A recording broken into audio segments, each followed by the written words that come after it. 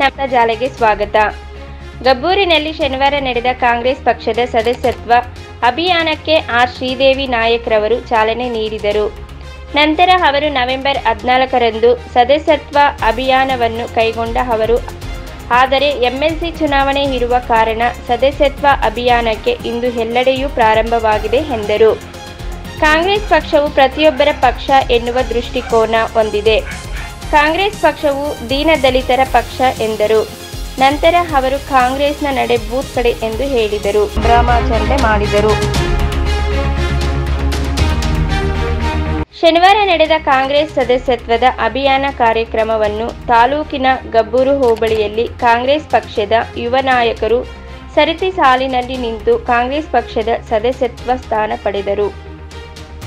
ಈ ಸಂದರ್ಭದಲ್ಲಿ ಸದಾಶಿವಯ್ಯ ತಾತ ಸಿದ್ದಯ್ಯ ತಾತ ಬಸವರಾಜಪ್ಪ ಸಾಹುಕಾರ ಅಯ್ಯಪ್ಪ ಗೌಡ ಕೆಪಿಸಿಸಿ ಕಾರ್ಮಿಕ ವಿಭಾಗ, ರಾಯಚೂರು ಜಿಲ್ಲಾ ಉಪಾಧ್ಯಕ್ಷ, ಖಾಜಾ ಪಾಷಾ ಅಮೀರ್ ಪಾಷಾ, ಫಕೀರಪ್ಪ ಬಾಗಲಿ ಹಾಗೂ ಅಭಿಷೇಕ್ ಪೂಜಾರಿ ಹಾಗೂ ಶ್ರೀದೇವಿ ನಾಯಕ್ ಅಭಿಮಾನ ಬಳಗದವರು, ಗಬ್ಬೂರು ಹೋಬಳಿ ಕಾಂಗ್ರೆಸ್ ಪಕ್ಷದ ಸರ್ವ ಸದಸ್ಯರು ಉಪಸ್ಥಿತರಿದ್ದರು.